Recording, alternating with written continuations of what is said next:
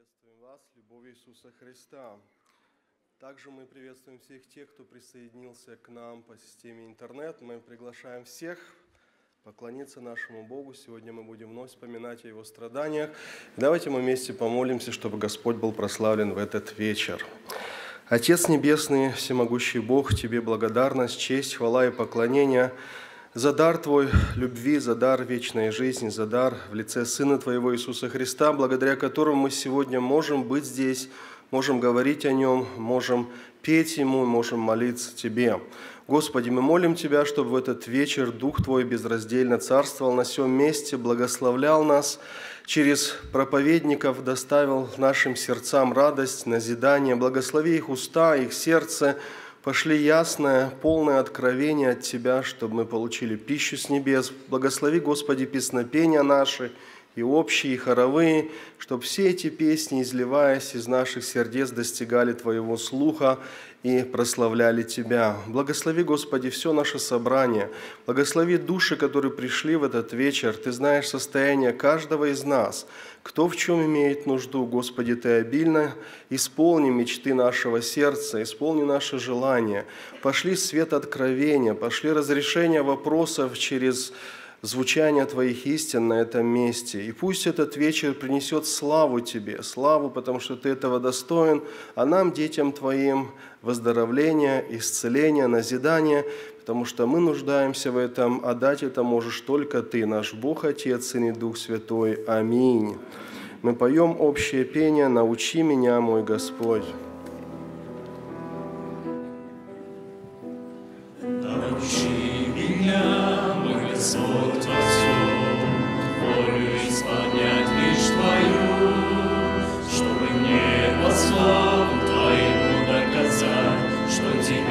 Создатель люблю. Научи меня среди тысячи голос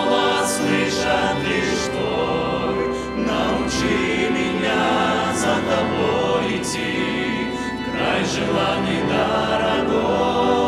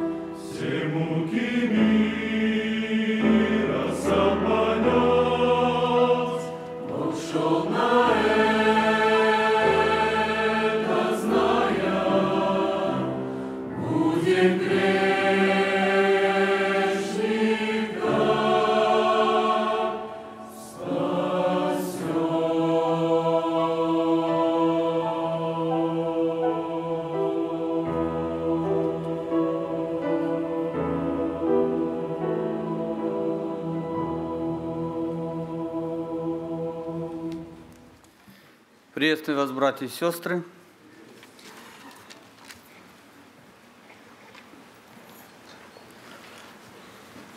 Откройте вместе со мной Слово Божие. Первое место – это послание филиппийцам, вторая глава. Читаем с 5 стиха по 11.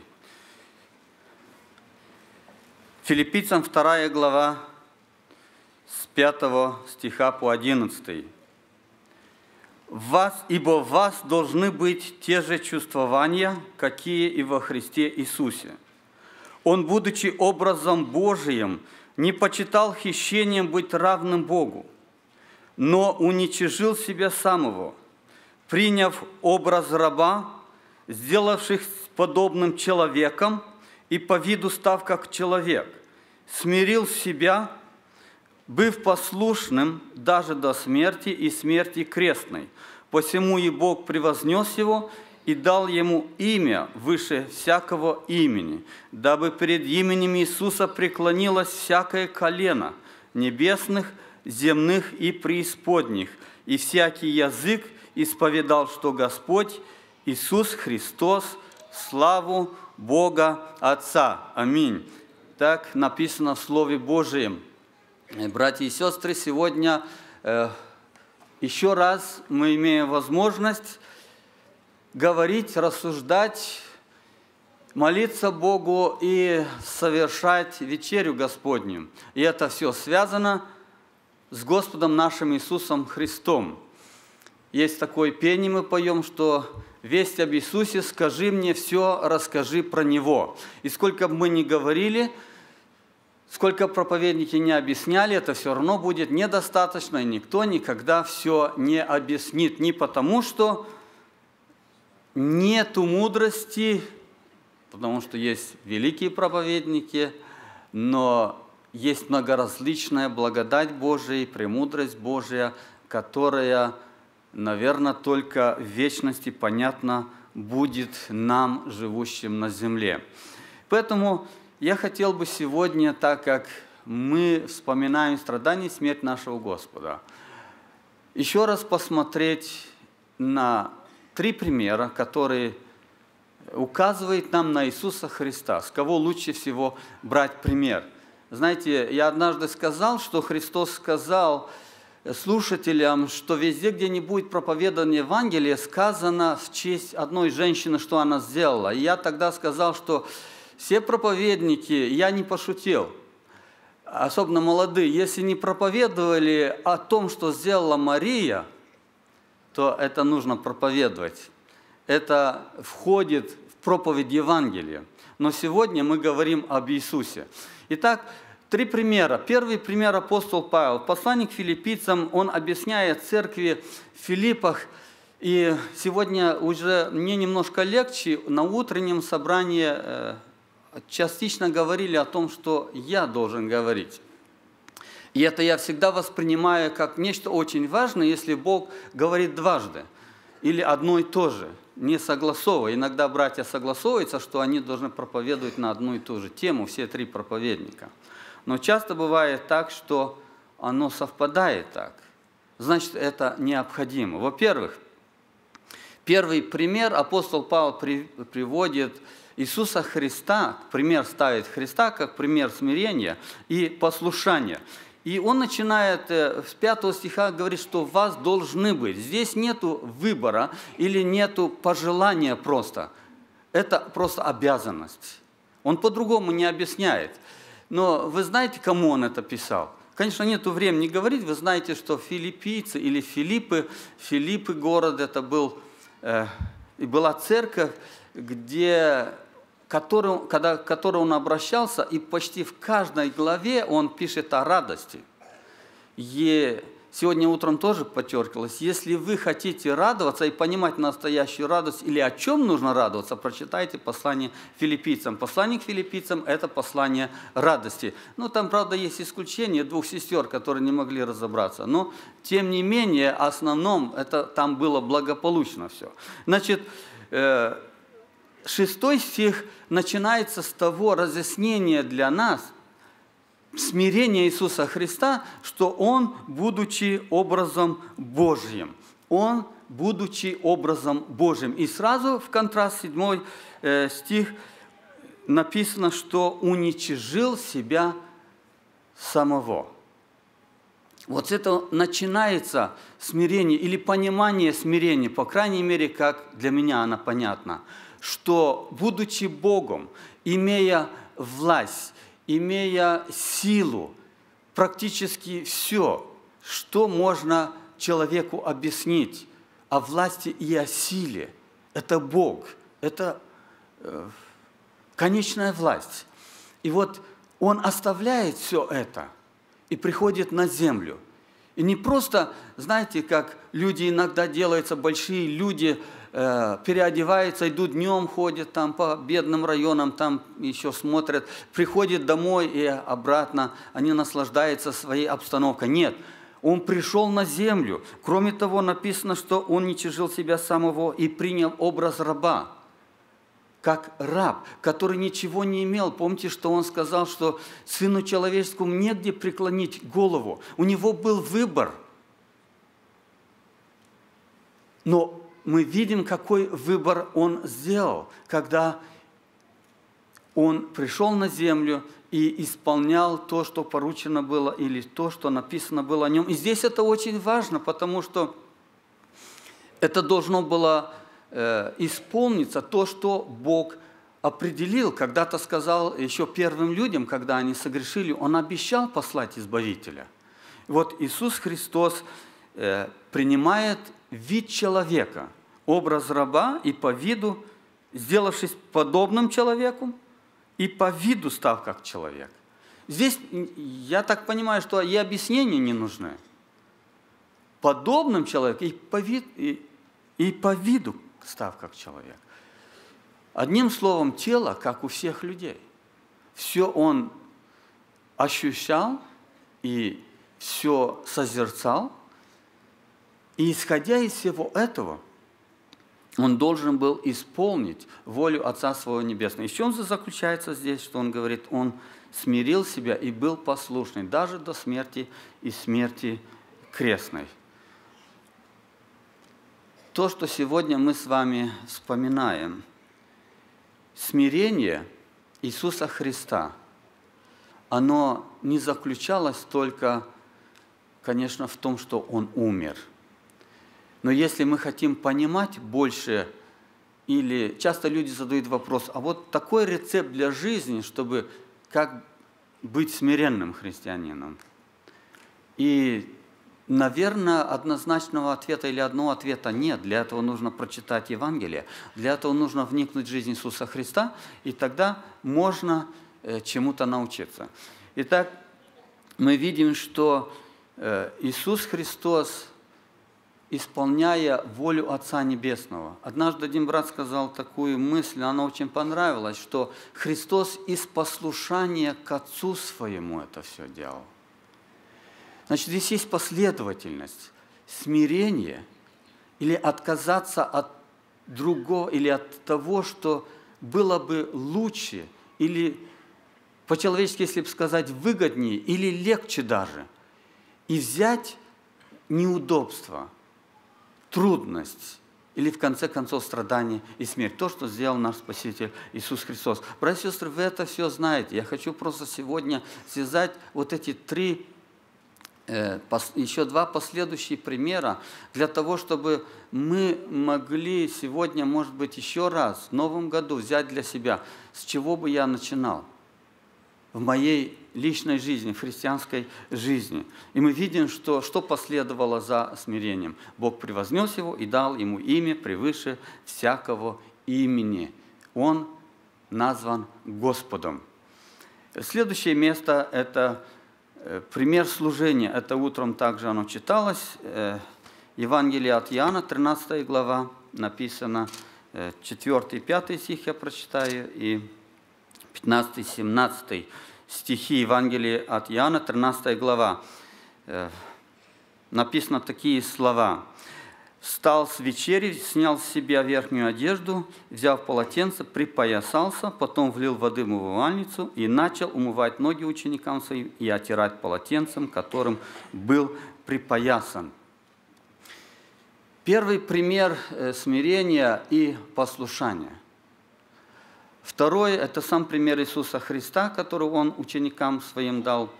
И 14, вернее, 15 и 17 стихи. «Ибо я дал вам пример, чтобы и вы делали то же, что я сделал вам. Истинно, истинно говорю вам, раб не больше господина своего, и посланник не больше пославшего его. Если это знаете, блаженны, когда исполняете». Пример – смирение, пример послушания, пример служения. Это пример служения. Вы знаете, что до этого что-то тоже происходило. Ученики шли, и они рассуждали о чем-то. И в Евангелии написано это, что Он Христос, когда пришли, они спрашивали, о чем вы, идя дорогу, и рассуждали. И они молчали, у них не было ответа не потому, что они не находили слов, потому что они не могли сказать, что они все хотят быть старшими. И вот здесь Христос им опять со смирением и послушанием приводит им пример, как нужно служить. И знаете, Христос не спросил, кто из вас хочет ноги умыть нам? Правда? Или когда Христос взял умывальницу снял, вернее, снял с себя верхнюю одежду, умывальницу. Ни один не стал, не сказал, нет, Господи, я это буду делать. Я помню еще, наверное, это детство было, пришли в один дом, там э, отец говорит, принеси то или надо было что-то принести с подвала, и там трое или четверо детей было. Одному, другому никто не идет. Ну, он тогда говорит, тогда я пойду. Тогда все трое встали, говорят, не, не, папа, ты сиди, мы пойдем принесем. В этом случае мы видим, что не срабатывало, ни у одного из учеников не возникла одна мысль, почему он должен только Петр тогда, когда подошли к нему. Я не знаю, их, может, Христос с Иуды начинал. Не написано в Евангелии. Но самое главное, что Христос им сказал, что вы знаете, что я вам сделал? 12 стих. Он говорит, знаете ли, что я сделал вам? Знаете ли? И он не дождался ответа о них, но сказал им, что вот это пример служения, что так мы должны служить друг другу. В нашей жизни мы, конечно, все стараемся что-то делать для Бога. И часто мы сталкиваемся с тем, что есть э, как бы неблагодарность, или люди не замечают нас, и часто люди говорят даже, вот сколько делаешь для них, а никакой благодарности нет. Дорогие мои, это мы не свое дело делаем. Если это делаю, ожидая благодарность, то это уже не мое, это мое дело. Если я понимаю, что это я делаю для Господа, что это я служу. Здесь как написано? Он говорит, что раб не больше господина своего, и посланник не больше пославшего его. Даст нам Господь мудрость, чтобы нам понимать в нашей жизни, что есть высший, есть больший над всеми нами, который хочет, чтобы мы что-то для него делали в нашей жизни. И сегодня мы должны об этом думать, что бы я хотел – своей жизни изменить, как бы я э, послужил лучше людям, или готов ли я вообще послужить людям. Знаете, э, не, не один раз э, я слышал, что вот в нашей церкви молодежь встречается с невежливостью, или это как бы мягко говоря, говорят, что у нас много грубых людей. Я не знаю. Конечно, с другой стороны, может кажется, что они просто это как в оправдании говорят, что не посещают церковь нашу. Но с другой стороны, братья и сестры, я тоже кое-что замечаю. Давайте будем помнить, что мы должны служить друг другу,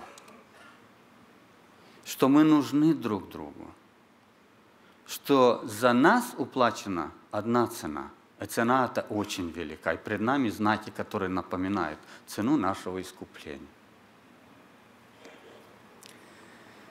1 Петра, 2 глава, 22-24 стих. Это третий пример. 1 Петра, 2 глава, 22 и 24 стихи. «Он не сделал никакого греха, и не было лести в устах его. Будучи злословием, он не злословил взаимно, страдая, не угрожал, но предавал то судьи праведному. Он грехи наши сам вознес телом своим на древо, дабы мы, избавившись от грехов, жили для правды, ранами его вы исцелились. Пример святой жизни.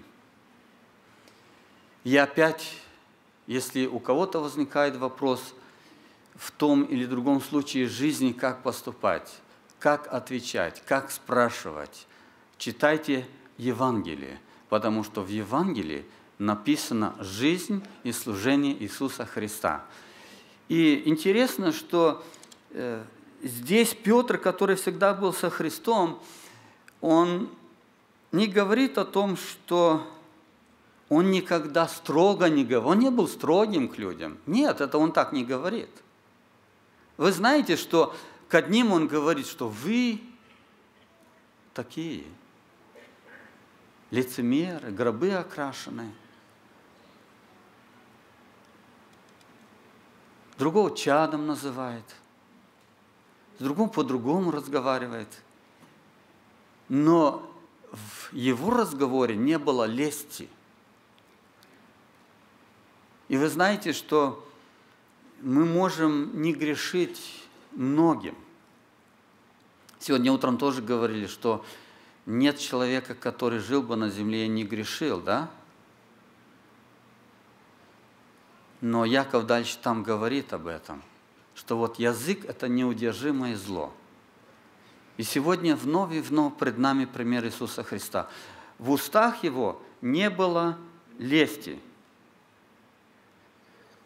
И Яков говорит, что кто не согрешает в слове, тот человек совершенный – и он может обуздывать все свое тело. Вы скажете, что да, это общность, э, общность такой все. Мы хотим детали. Хотите детали еще раз? Пожалуйста, открывайте Слово Божие, начиная с Евангелия от Матвея до Евангелия от Иоанна, а еще лучше все послания они открывают нам личность Господа нашего Иисуса Христа, который оставил славу небес, пришел на землю для того, чтобы служить мне и тебе. Показать нам пример святой, непорочной жизни. Да поможет нам в этом Господь. Аминь. Будем молиться. Иисус, о Тебе я пою, Светом озарил я за все благодарен Тебе, и во всем вижу я Твою руку.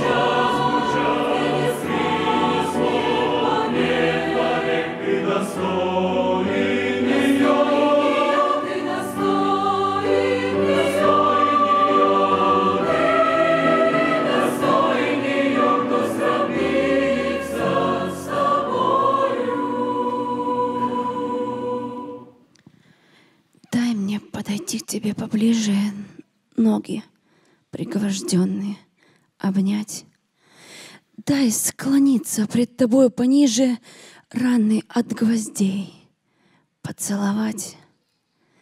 Ты висишь весь истекая кровью, так свое создание возлюбя, что готов пожертвовать собою ради тех, кто распинал тебя. Я виновник твоего страдания. Я виновник всех тяжелых мук. Как бы я хотел своим признанием вырвать гвозди из пронзенных рук. Пусть смолкает все перед тобою. Как понять мне тайны глубину, что такой великою ценою заплатил ты за мою вину? Дай мне ощутить твои страдания, дай мне силы для других гореть с чувством беспредельного признания для тебя и жить, и умереть. Но напрасные все мои стремления, чтоб, чтоб твои страдания облегчить. Дай, Господь, чтоб каждое мгновение жизнь своей Тебе мог посвятить. Аминь.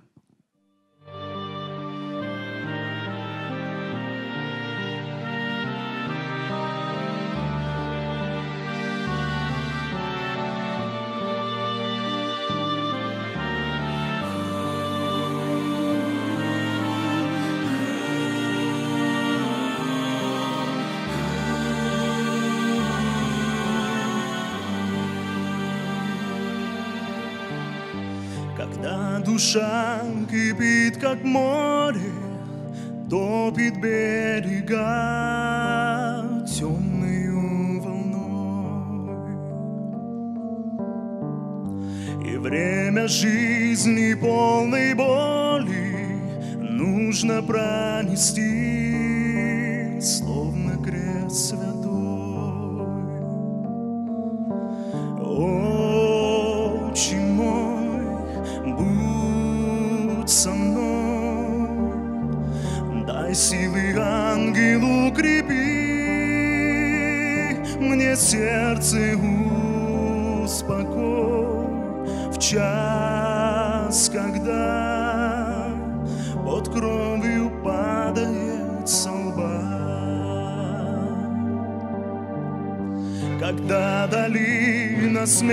тени Вдруг разделит с тем, кто роднее всех.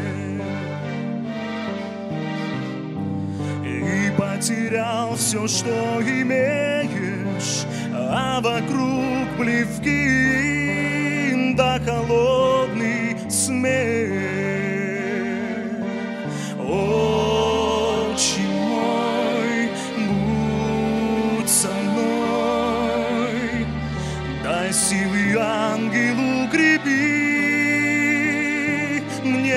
мне сердце успокой. В час, когда под кровью падает со лба. Отче мой, будь со мной, дай силы ангелу крепи, мне сердце успокой,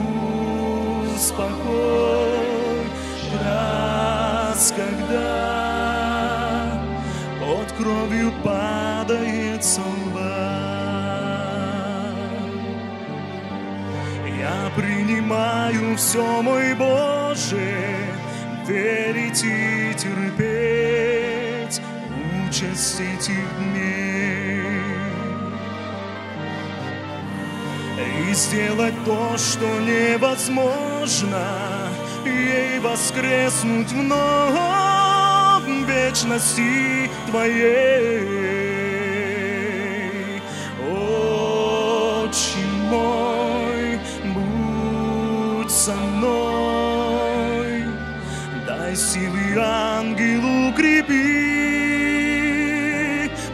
Сердце успокой в час, когда под кровью падает солба. Отче мой, будь со мной, дай силы ангел укрепи, мне сердце успокой в час, когда под кровью падает солба.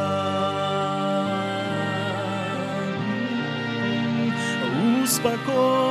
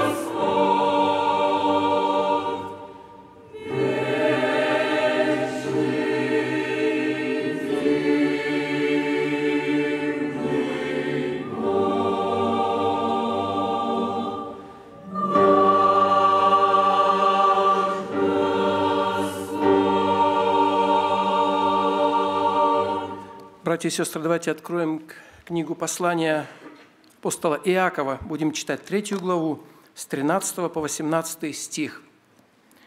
Послание Иакова, 3 глава, с 13 по 18 стихи. «Мудр ли и разумен кто из вас? Докажи это на самом деле добрым поведением с мудрою кротостью. Но если в вашем сердце вы имеете горькую зависть и сварливость, то не хвалитесь и не лгите на истину. Это не есть мудрость, нисходящая свыше, но земная, душевная, бесовская. Ибо где зависть и сварливость, там неустройство и все худое. Но мудрость, сходящая свыше, во-первых, чиста, потом мирна, скромна, послушлива, полна милосердия и добрых плодов, беспристрастна и нелицемерна. Плод же правды в мире сеется у тех, которые хранят мир. Аминь. Мы сегодня будем рассуждать перед молитвой о мудрости, о мудрости человеческой, о мудрости, исходящей свыше. Я хочу обратить внимание на то, как люди видят, как они определяют мудрость, то, как мы с вами ищем и определяем мудрость, с которой мы сталкиваемся. И вот в словаре Ожегова мы читаем такие слова. «Мудрость – это глубокий ум, опирающийся на жизненный опыт». То есть он указывает, что мудрость – это интеллект, это умственные способности – это способности от рождения воспринятые, к ним добавленный опыт с годами, и все это делает или должно делать человека мудрым. В словаре Даль пишет по-другому, более близко к нашему пониманию. Мудрость – это одаренность видеть вещи в жизни так, как их видит Бог. То есть он в определение мудрости вводит не просто интеллект человеческий, не просто опыт, который с годами, он вводит неизменную составляющую, то, как видит Бог. Вот это вот в словаре Даля называется мудростью. Но когда мы читаем Слово Божие, особенно, наверное, вы помните, в притчах, как нигде очень много пишется о мудрости, божественной мудрости, то мы видим другие определения мудрости. Я хочу прочитать вам их. Притчи, 2 глава, 6 стих. Ибо Господь дает мудрость, из уст Его знания и разум. Притча 2 глава 10 стих. Когда мудрость войдет в сердце твое, и знание будет приятно душе твоей, тогда рассудительность будет оберегать тебя, и разум будет охранять тебя. В притчах мы видим, Господь говорит, что источником мудрости является Бог. Написано, Господь дает мудрость из, ух, из уст Его знания – и плодом этой мудрости является рассудительность, разум и даже охрана в жизни.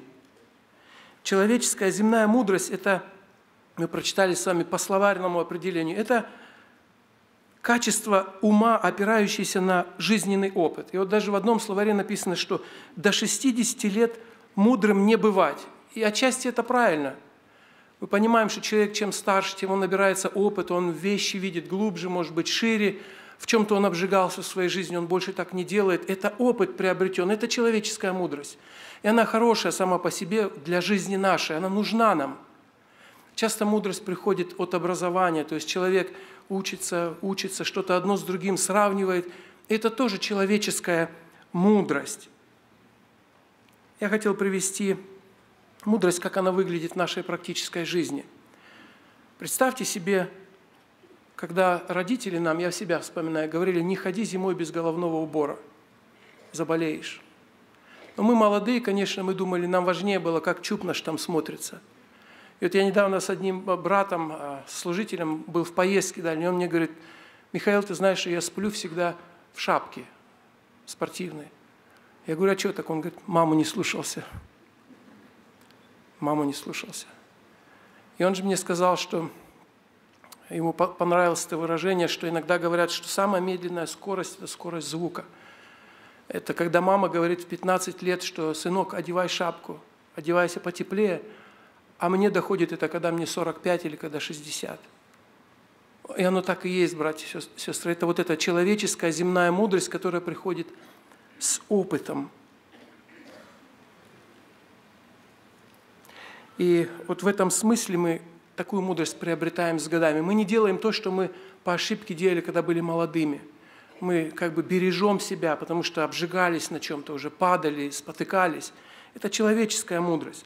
Но вот мудрость, о которой пишет Иаков, мудрость, сходящая свыше, она в корне отличается от этой опытной му- мудрости, та, которая приходит с опытом и с годами. Смотрите, что говорит нам Иаков. Он говорит нам как бы о двух типах мудрости. О настоящей мудрости, он ее называет сходящей свыше, небесной, исходящей от Бога. И о мудрости ложной. Хотя мы можем возразить и сказать, но не каждая мудрость ложная, она тоже благо свои дает. И вот он говорит, что одна мудрость ложная, это земная, человеческая, бесовская, он дальше назовет, она приводит всегда к греху, к разногласиям и неустройству. Мы прочитали с вами. А другая приносит драгоценный плод правды. Иаков вот в этом послании он подтверждает учение притч, что настоящая мудрость, снисходящая с неба, она начинается в первую очередь с познания Бога и с почитания Бога. Притча 1.7. Начало мудрости, что, братья и сестры? Страх Господень, мы это знаем все. Притча 2.6. Ибо Господь дает мудрость, и из уст Его знание и разум. Блажен человек, который снискал мудрость. Притча 3.13 и притча 4.7. Главное – мудрость, приобретай мудрость. То есть Иаков говорит, что мудрость, которую дает Бог, она начинается с отношения с Богом и с почитания Бога, с правильного трепета перед Богом. Второе, Иаков говорит, что мудрость, которая идет от Бога, она доступна, причем она доступна вне зависимости от возраста. В первой главе он пишет такие слова. «Если же, это пятый стих, первая глава Иакова, если у кого из вас не достает мудрости, да просит ее у Бога, дающего всем просто и без упреков». Здесь не сказано, что допросит ее, когда станет зрелым, возмужалым, когда ему очень она будет нужна в семейной жизни. Просит ее. Это может делать человек молодой. Это может делать юноша или девушка, которая стоит перед выбором серьезным в жизни. Просите мудрости у Бога, Он даст ее просто и без упрека. Но Иаков также говорит, что со стороны Бога вот этот канал, он открыт к человеку. Но часто наши двери сердечные закрыты к этой мудрости. И вот дальше он в 4 главе пишет, что мы не можем получить эту Богом данную мудрость, если не наладим правильные отношения с Богом, как с источником этой мудрости. Он пишет, просите и не получаете, потому что просите не на добро, а на зло, потому что просите для вожделений ваших. Вот хочется мне, Господи, дай мне. Дай мне мудрость, дай мне сноровку, смекалку, здоровье, дай мне еще и другое, и третье. И дальше он пишет, приблизьтесь к Богу и приблизиться к вам. Очистите руки грешные, исправьте сердца двоедушные. То есть мудрость, о которой говорит Иаков, это как производная от близкого отношения с Богом. Есть это отношение, это открытый канал. Бог будет давать мудрость, Бог будет наставлять. Нету близости, не будет этой мудрости. Хоть как бы мы складно не просили и не молились, от близости с Богом зависит мудрость. Утром Павел Михайлович говорил о совершенной радости. Он говорил, что она происходит от общения друг с другом и от общения с отцом и сыном его. Было замечено, что мы не всегда просим в молитве об этой радости, чтобы Бог дал нам эту подлинную радость. Я хочу сказать, что с мудростью обстоит так же примерно, как и с радостью. Радость должна быть у нас на лицах. Да, мы спасены. Мудрость должна быть в нашей жизни. Да, Христос в нас. Но мы часто видим, радости не достает, и мудрости не достает. Хочу рассказать о примере мудрости, которая сходит свыше. Я помню, когда я был подростком, мне было интересно читать заметки, которые папа мой переписывал с разных журналов, газет о разных людях, географические пометки какие-то. Вот я помню, он упоминал как-то Сундра Синга. Я тогда не знал, уже забыл, кто это за такой человек. И вот недавно вспомнил свидетельство о нем. Это был молодой в Индии миссионер, очень посвященный христианин. Знаете, он в свою жизнь сделал несколько миссионерских походов через север Индии, через Гималаи в Китай. И он это делал ради того, чтобы в Китае благовествовать. И вот однажды, возвращаясь, он был со своим напарником, там высоко в горах их застал шторм, обледенение. И такое это было сильное и серьезное, что они оба поняли, что если они не сбегут сейчас с горы, то они превратятся в куски льда. Я вспомнил несколько лет назад у нас молодежь наша, несколько, по-моему, три человека, сделали восхождение в Юсемите на одну из вершин. Я не знаю, знаете ли вы все или нет, но чем закончилось это, что ночью их там застало обледенение, сильный ветер, мороз ударил, и они не смогли двигаться ни влево, ни вправо. Настолько было все скользко, настолько холодно было, что утром их снимали вертолетом. И они живые, здоровые, они в нашей церкви. Когда это случилось с, Сандро, с Сандрой Сингом, то они побежали, просто спасая души свои, вниз туда от этого холода и мороза, обледенения. И вот по дороге они увидели лежащего полуживого человека. И они поняли, что он еще живой. И напарник Сандрасинга говорит, оставь его, он все равно уже умрет, он, а мы с ним не, не, не- мы, и мы погибнем с ним, нам нужно бежать, спасать души. И вот Сандра Синг говорит, я не могу это сделать, это живой человек, это душа. Он стал поднимать его на свои плечи ложить, и напарник его побежал. Говорит, ты как хочешь, а я спасаю свою жизнь. Вы знаете, когда он поднял его на свои плечи, то ему идти стало тяжелее. Он стал задыхаться от этой ноши на плечах. Но удивительное происходить стало. От этой нагрузки сердце его стало так работать, что его, собственно, тело стало разогреваться. Тело того, который лежал на нем, полуживой обмороженный человек, стало согреваться, и они стали друг друга согревать вот в этом обледенении. Они пошли, почти дошли до, до спуска с горы, и там они увидели еще одного человека, замерзшего, но теперь уже полностью мертвого. И к какому удивлению они пришли, это был тот первый путник, который убежал, спасая свою душу. Он был, имел человеческую мудрость. Ему нужно было спасать свою жизнь. Он знал, что если они промедлят, они погибнут. Но вот у этого христианина была мудрость, сходящая свыше. Это мудрость, которая превыше понимания человеческого, которая побуждает делать то, что не хочет иногда делать человек. И делает это, и через это прославляется Господь. Этот пример говорит о том, что мудрость, сходящая свыше, она всегда может быть с каким-то опозданием во времени, но она обязательно превзойдет человеческую мудрость. Обязательно превзойдет человеческую мудрость. Давайте снова обратимся к слову, 13 стих. «Мудр ли кто и разумен кто из вас? Докажи это на самом деле добрым поведением, с мудрую кротостью». Божья мудрость – это урок для нас сегодня, она всегда более видна, чем слышна. Если кто мудр, докажи это своей жизнью.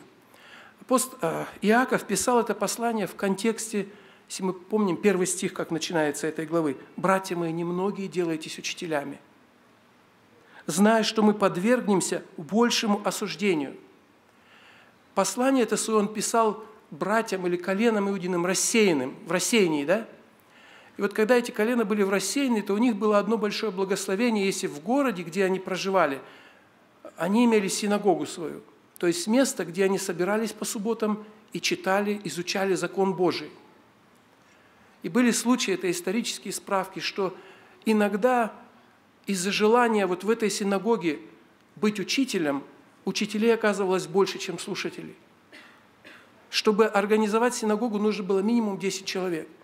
Иногда оказывалось, что я хочу учить, было больше человек. И вот он, когда писал эту главу, он говорит, ну не делайтесь учителями, ведь это опасно.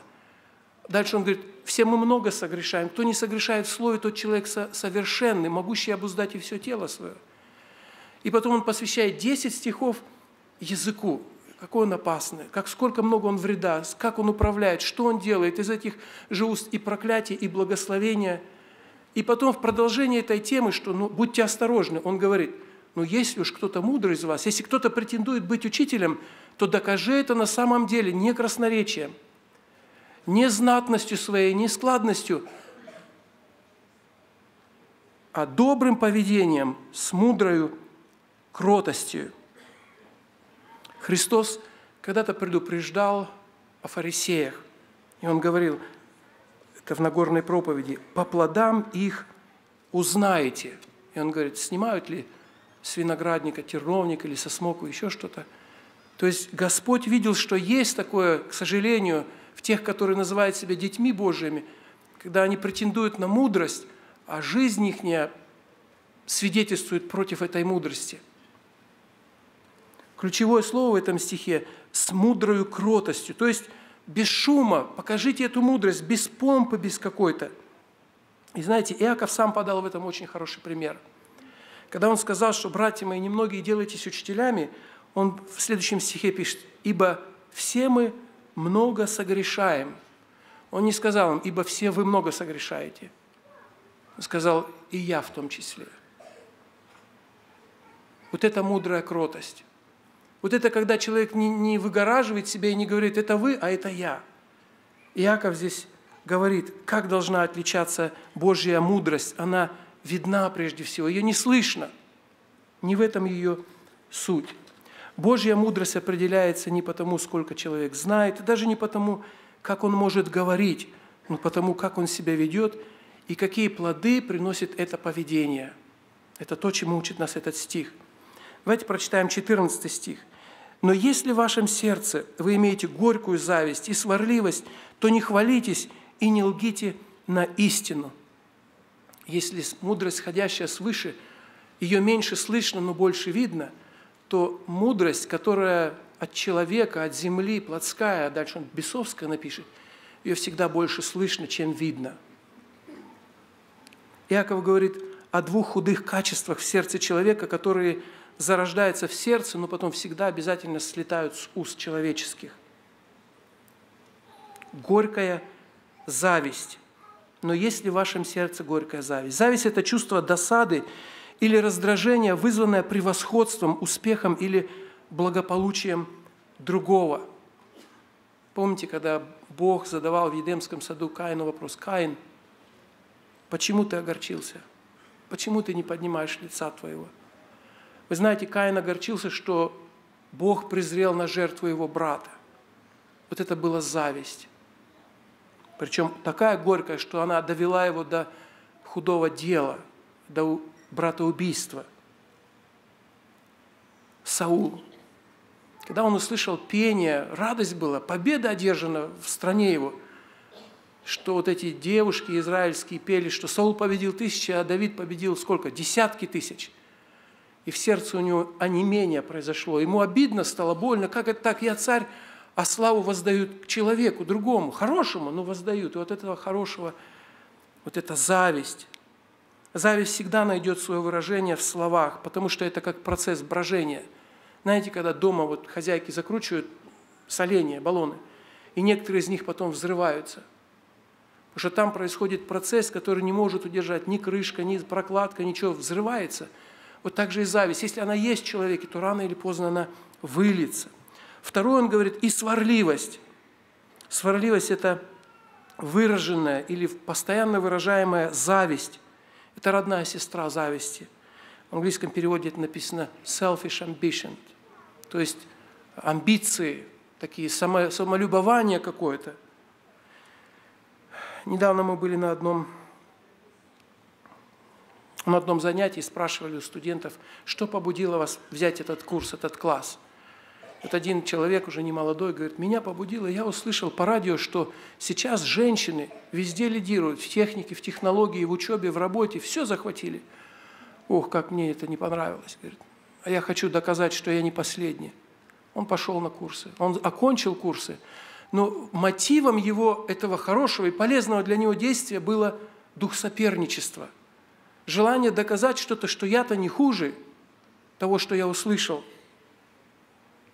Соперничество стало мотивом какому-то доброму, иногда худому действию.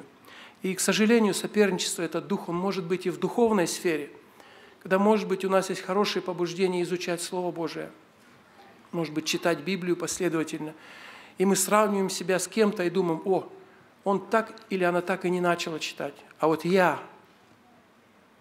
это плохой мотив, это, это не мудрость, сходящая свыше, это человеческая, это душевная или плотская, она даже бесовская дальше написана. Но вот больше всего меня удивило в этом стихе вторая половина. «Если в вашем сердце имеете горькую зависть и сварливость, то не хвалитесь и не лгите на истину». В чем, собственно, мы лгем на истину, если кто-то из нас хвалится? В чем? Если я хвалюсь своими способностями, своей мудростью, талантами, то это значит, я приписываю к себе то, что принадлежит Богу. Если у меня есть похвала или бахвальство тем, что у меня лучше, чем у другого, то я посягаю на то, что да, подарено было мне Богом.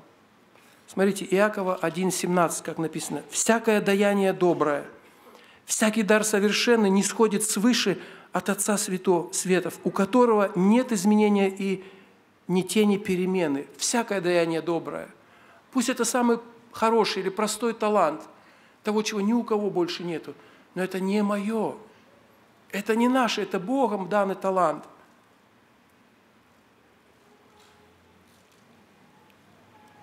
Первое Коринфянам 4, 7. Я хочу прочитать это место. 1 Коринфянам 4 глава 7 стих.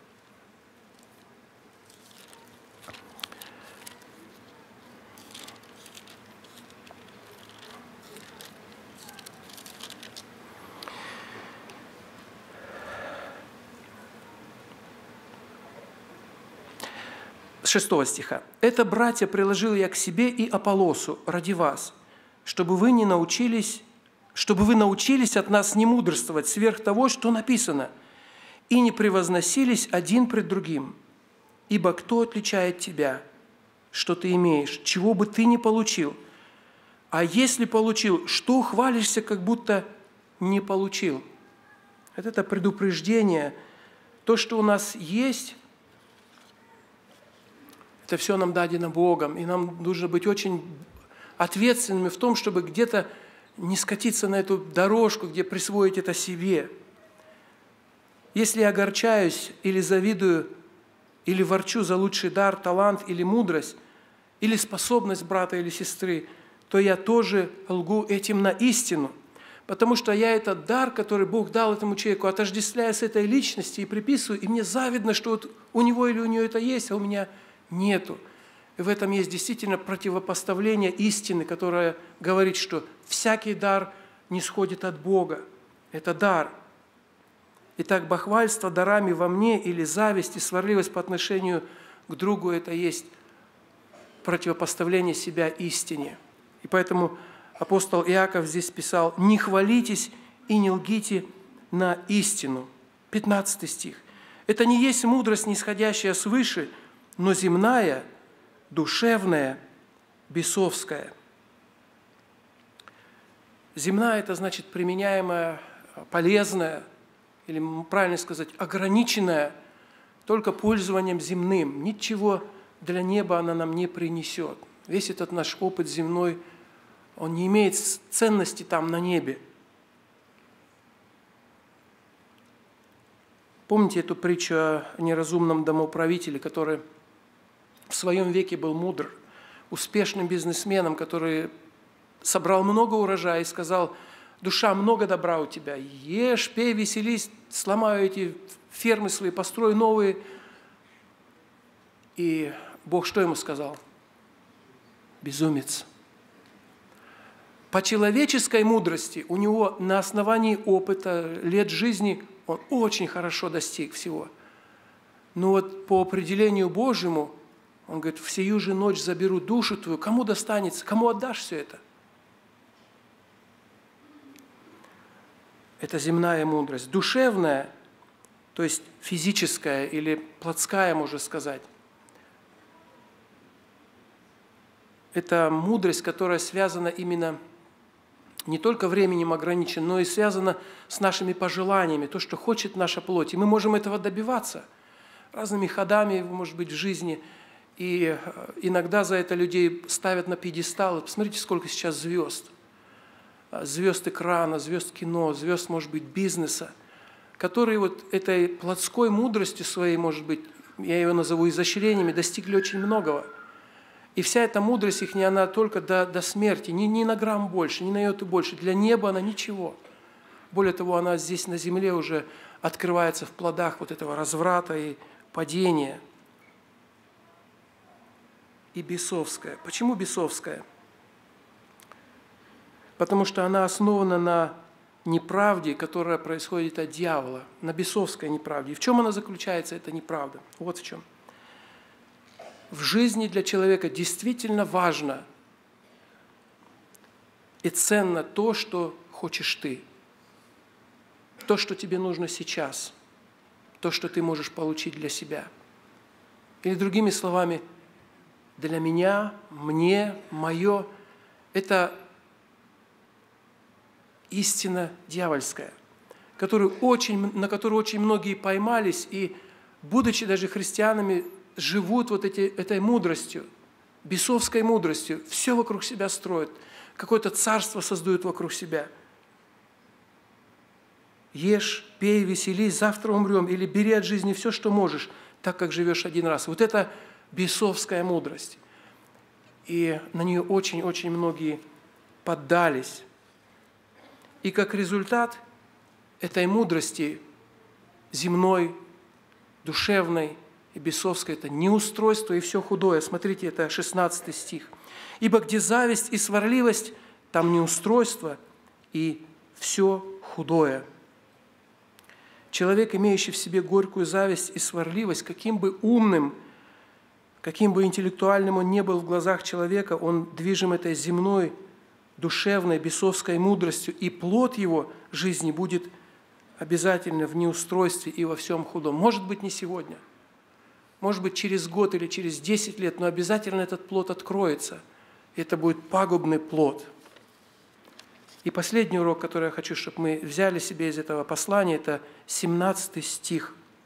Но мудрость, сходящая свыше, во-первых, чиста, потом мирна, скромна, послушлива, полна милосердия и добрых плодов, беспристрастна и нелицемерна. Это семь качеств, которые невозможно не заметить и которые невозможно не почувствовать. То есть Иаков говорит, что если человек, которому Бог дал мудрость от себя, то у него будет наличие вот этих удивительных качеств, которые обязательно мы заметим в его жизни, и мы почувствуем в его отношении. Чистота – в первую очередь, чистота, о которой он здесь говорит, во-первых, чиста, она касается сердца, потому что мудрость, которая не исходит от Бога, она очищает сердце. Не интеллект. Она не влияет на наше IQ, как сейчас говорят, это интеллект, интеллектуальную, коэффициент интеллектуальный. Она сначала влияет на сердце, и от сердца начинает производить удивительное действие – она очищает мотивы действия, так как исходит от чистого источника, от Отца Светов. И примером может нам быть Иосиф в доме Патифара. помните, насколько открылась его чистота? Мы же согласны, что у него была особая мудрость, братья и сестры, да? Согласны? У него явно проявилась эта мудрость вот в чистоте его сердца, когда он попал в это страшное искушение с женой Патифара. И он говорит, как я могу сделать это великое зло перед Богом? Чистый был, потому что мудрость была Божья на нем. Вторая, потом мирна. Иосиф в отношении со своими братьями, которые предали его, которые обрекли его на годы мучения, попадал в тюрьму он не раз, угнетения. И вот когда они встречаются спустя много лет, он являет им верх миролюбия.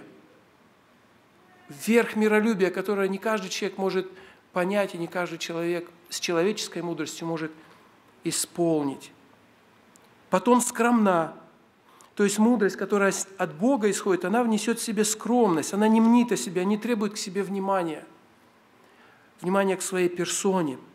Апостол Павел предупреждает в послании к римлянам, не думайте о себе более, нежели должно, но скромно по мере веры. Хорошим примером для меня сразу запал это пример Даниила.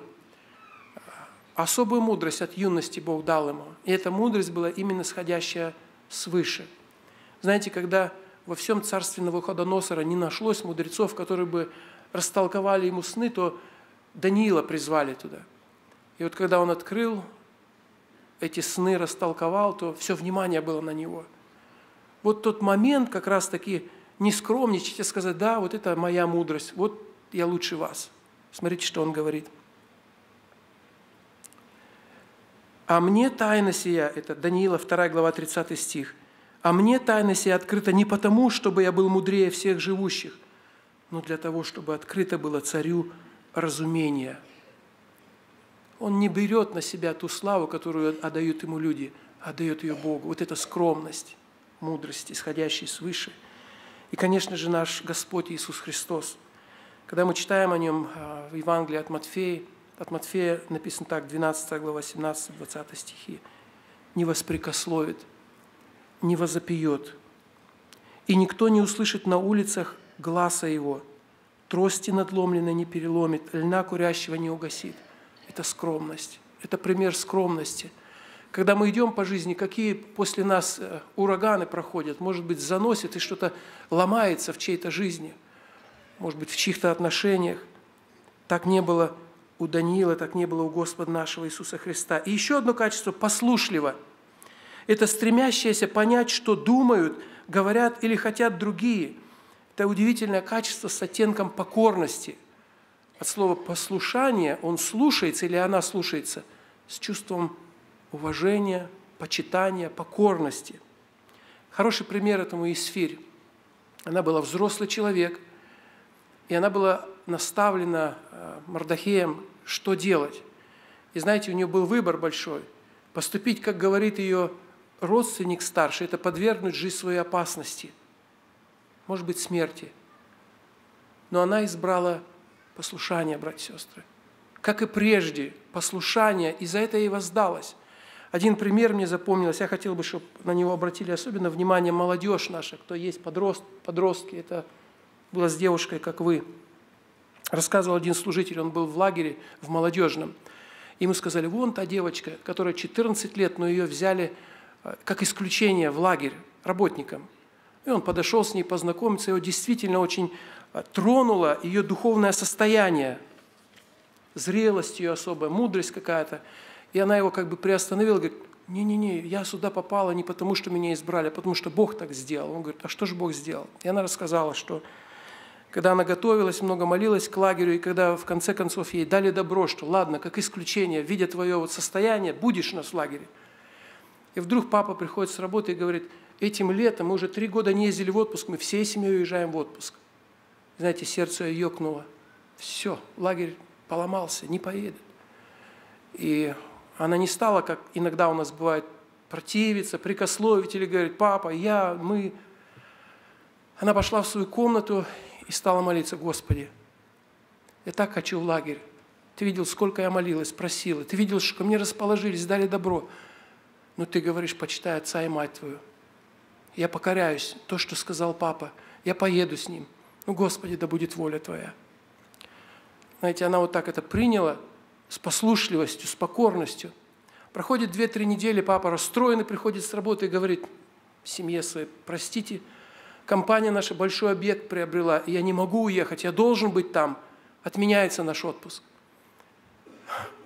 представляете сердце этой молодой христианки, которая избрала для себя вот эту добрую часть мудрости Божией, послушливости Отцу – а остальное Бог позаботится. И Бог действительно позаботился. Мудрость, ходящая свыше, она послушлива. Потом мы читаем, она полна милосердия и добрых плодов. Она беспристрастна, она нелицемерна. Я не буду перечислять качества эти, но я хочу сказать, что этими всеми качествами, этими стихами Иаков описал мудрость, сходящую свыше. И заканчивает он это послание. Плод же правды в мире сеется у тех, которые хранят мир. Он подводит черту и говорит, вот те, которые хранят мир, которые ищут вот этих качеств, ищут их у Бога и просят их у Бога, то в их сердце посеется этот плод правды, и он будет приносить плод. Я когда перечитывал эти качества, то я откровенно себе сказал, что часто вот в практике моей жизни – у меня не достает или скромности, или чистоты, или мудрости. Вот все, что перечислено, как бы нету этого. Но, вот как сегодня в первой проповеди брат говорил уже, как утром Павел Михайлович говорил, все то, что перечислено здесь, в этой прекрасной главе о мудрости, есть в ком? В Иисусе Христе. В Господе нашем Иисусе Христе. В литературе есть такой э, э, метод, персонализация – когда какие-то качества а, называют или одухотворяют личностью какой-то. И вот здесь Иаков, он как раз-таки, говоря о мудрости, он параллельно открывает нам, это Иисус Христос. это Иисус Христос. То есть и притчи, которые мы читаем в Ветхом Завете, и мудрость, ходящая свыше в э, книге Иакова, это указание на Иисуса Христа. Смотрите, как записано в послании Колоссянам, 2 глава, 3 стих, в котором сокрыты все сокровища премудрости и ведения. Давайте теперь представим себе вот эту маленькую, маленького подросточка, девочка, которая всем сердцем своим хочет ехать, а в душе своей молится, Господи, да будет воля Твоя, я буду покорна своему Отцу. Это послушание Христа в ее сердце. Даниил, когда направляет всю славу Богу, не берет себе, это Христос в его сердце. Иосиф, когда умиротворяет прибывших к нему братьев, это Христос его сердце. И вот этот Сандра Синг, когда там на дороге увидел этого умирающего человека, склонился, взял его на плечи свои и понес, это Христос. Все эти люди обладали этой мудростью, сходящей свыше, но это был и Христос, явленный в их жизни. Итак, мудрость, сходящая свыше, это Иисус Христос в твоем и моем сердце, в твоей, брат, и в моей, сестра, жизни. И в широком смысле плодом правды можно считать мудрость, сходящую свыше, или Христа, который обитает в нашем сердце. Иаков в этом послании, он призывает нас искать и просить именно такой мудрости. Не мудрости для того, чтобы сдать тесты экзамен, что мы часто и делаем, мы нуждаемся в этом. Не памяти, чтобы пройти на гражданство там, или чтобы Бог сохранил нас в чем-то еще, а мудрости, исходящей свыше. И вот в этой мудрости, братья и сестры, я заметил, что чем старше становлюсь, тем больше я нуждаюсь. По человеческому определению мудрости должно быть больше с годами, а по Божьему больше нуждаемся мы в ней. И к этому я хочу призвать сегодня и вас, дорогие, все, кто пришел на собрание, особенно молодежь, как написано, если у кого не достает, просите, и дастся просто и без упрека. Пусть в этом сегодня Господь направит нас действительно, чтобы Христос мог обитать в нашем сердце и в нашей жизни и проявлять свою мудрость в нас. Аминь. Помолимся.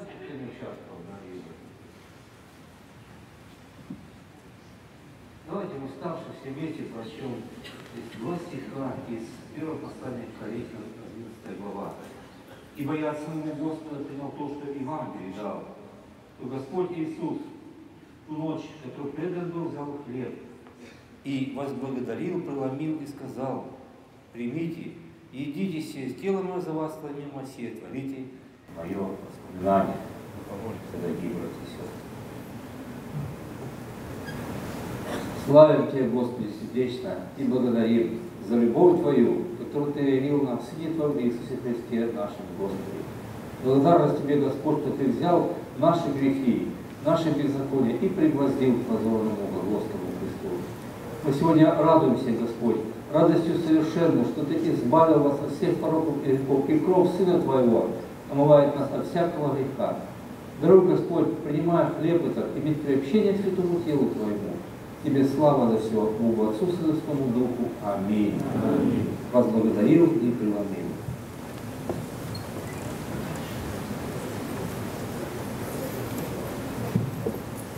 Дорогие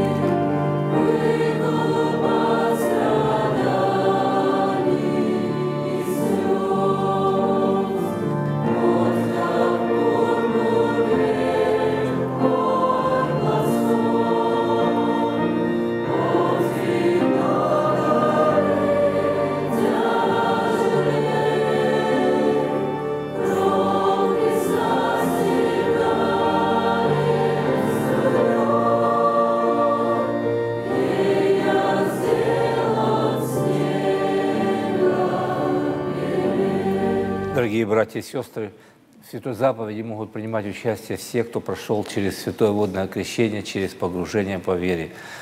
Если вы гости из других церквей, находитесь в мире в любви, вы можете участвовать. И если кто отлучен на замечание, не имеет мира, воздержитесь от участия в вечере. Когда братья будут вам подходить, подносить, будьте аккуратны, осторожны. Помните, что это святыня Господня. Иисус Христос в ту ночь, которую предан был, взял хлеб и сказал, «Примите, едите, сие тело мое за вас ломимое». Аминь.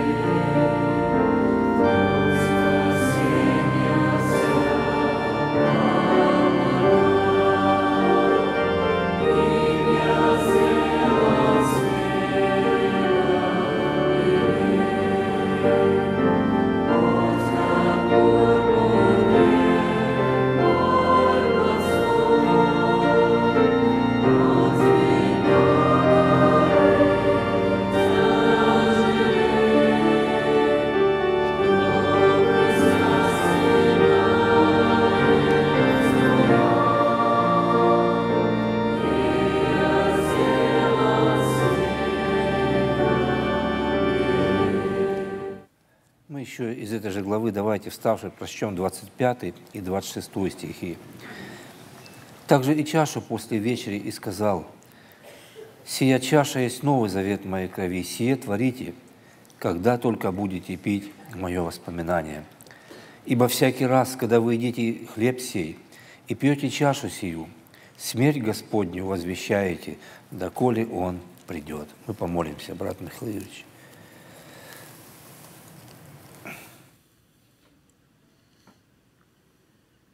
Отец наш Небесный, мы благодарим Тебя за Сына Твоего, нашего Господа и Спасителя, за Его страдания и муки умирания на Голгофе, за пролитую кровь благодарим. Благодарим, что всей кровью очищаются, очистились грехи наши. И сегодня мы, участвуя в этой заповеди, желаем возвестить смерть Твою, Господи, победу Твою на кресте и радость нашего спасения. Мы просим Тебя также благослови, чтобы сердца наши были готовы к принятию этой святой заповеди. Приготовь нас, чтобы трепет был на душе нашей, полное сознание нашей, Господи, неготовности, но Твоей благости и милости, по которой Ты нас спас. Освети, очисти нас и благослови также вино в этих чашах. Отец и Святой Дух. Аминь. Amen.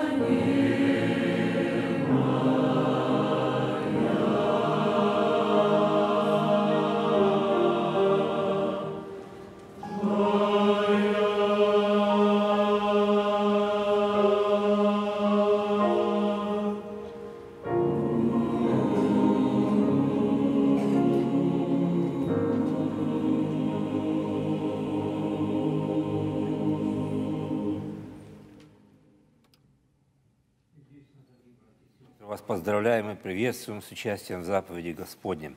И давайте перед тем, как мы помолимся, мы вставши прочтем несколько стихов из первого соборного послания святого апостола Петра, глава 1, с 14 стиха. «Как послушные дети, не сообразуйтесь с прежними похотями, бывшим в неведении вашим, но по примеру призвавшего вас святого и сами будьте святы во всех поступках, ибо написано «Будьте святы, потому что я свят». Аминь. Брат Модест Соловей совершит молитву.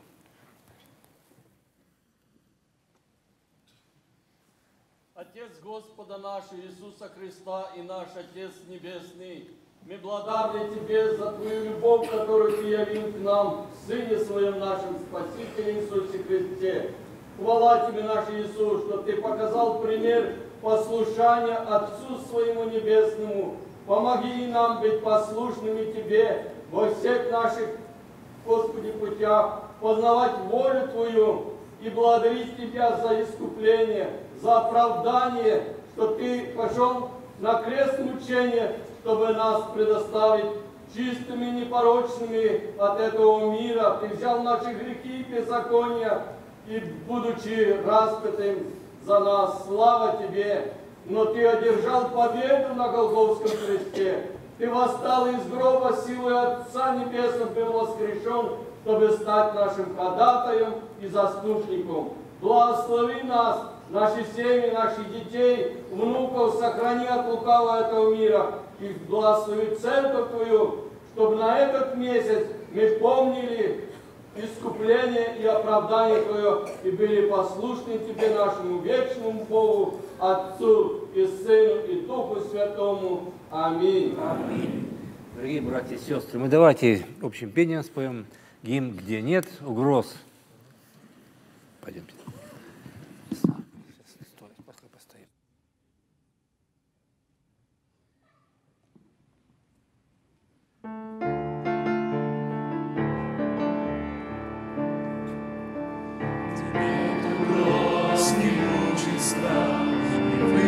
Звезд на небеса, Желанный дом и мир красот, в краю родном спасен и ждет. О, вечный дом,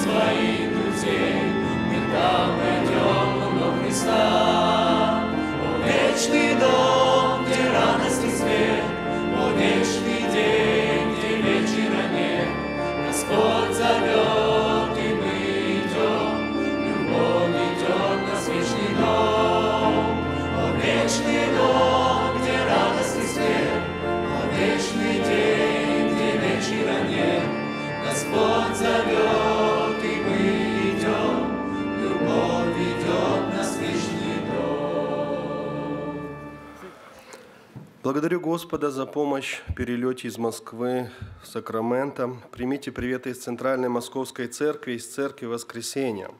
Брат Иван, благодарим. Аверина Евдокия передает церкви сердечный привет. Ее посетили братья. Также привет от Ивана Алексеевича Котовского. Тоже братья посетили с хлебопреломлением. Привет, благодарим. Поздравляем нашу маму и бабушку Надежду Ивановну Герасимову с днем рождения. Дети и внуки, 85 лет. Мы присоединяемся и поздравляем с такой красивой цифрой. Дорогая церковь, помолитесь о том, чтобы Господь послал нам жилье по восьмой программе. Дорогие братья и сестры, прошу помолиться Господу нашему Христу о благословении для моего внука Дани, э, успешном продолжении учебы и получении специальности. Сестра в Господе Ольга. Дорогая церковь, я Гриша Воловитый. Молитвы ваши услышаны. Операция сердца прошла успешно. Я потихоньку оживаю, милостью Божией жив, воскресаю со всей природой. Спасибо за звонки и посещения. Слава Богу. Дорогая церковь, помолитесь за мою семью, за мужа, сына, дочь, чтобы Господь даровал им пробуждение, искреннее покаяние и дал им желание возвратиться на путь истинный, сестра. Дорогая церковь, Барушка Николай в госпитале в тяжелом состоянии, жена и дети. Дорогая церковь, пожалуйста, помолитесь за нашего сына, чтобы Бог дал ему покаяние, возрождение, трудный возраст, много искушений, семья в Господе. Вот такие, братья и сестры, нужды. Давайте мы встанем и обратимся к Господу. Очень небесный, всемогущий Господь, Ты сказал, что где двое или трое собраны во имя Твое, Ты посреди нас.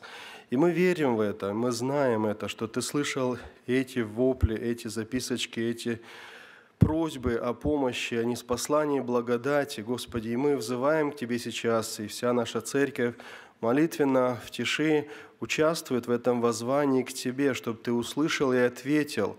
Мы молим Тебя за скорбящих, Господи, за тех, у кого духовные переживания за свои семьи, за своих деток. Господи, я прошу Тебя, Дьявол улавливает свою волю многих детей наших, но мы продолжаем стоять в проломе и верим, что молитвы, молитвы бабушек, дедушек, отцов, матерей, сестер и братьев, они не могут пройти мимо Тебя. Ты обязательно услышишь, Ты обязательно ответишь. И в свое время эти заблудшие дочеря и сыновья, отцы и матеря вернутся в лоно церкви, вернутся к Тебе и обретут жизнь утерянную. Мы также просим Тебя за тех, кто испытывает и переживает физические недомогания. Господи, умоляем Тебя, те, кто в больницу попал, те, кто сейчас особые переживания, а, операции или предстоят эти операции, молим Тебя, будь милостив им, Господи, окажись рядом, поддержи, дай внутреннюю поддержку, Господи, чтобы не было паники, чтобы не было а, напряжения, Господи, чтобы пришел мир, пришло доверие Тебе. Я прошу, Господи, кто переживает э, сейчас это время гриппа, осложнений, чтобы не было, чтобы эти осложнения не перешли в другие органы. Господи, умоляю Тебя, сохрани нас всех от этого. Мы также просим Тебя, Господи, за переживания этой семьи, чтобы дали восьмую программу. Услышь с небес и окажи милость, Господи, чтобы в этом мы увидели Твою руку. Благодарим Тебя за переезды наших братьев и сестер, благодарим Тебя за приветы, которые мы получаем. И мы молим Тебя, Господи, чтобы Ты благословил каждое сердце сегодня, кто был здесь, здесь и слышал Твои слова, кто открыл свое сердце и уши, и Ты сказал им нечто важное. Благослови, чтобы эти слова произвели работу и принесли плод в жизни. И благодать Господа нашего Иисуса Христа, и любовь Бога Отца, и общение Святого Духа да пребудет со всеми нами. Аминь.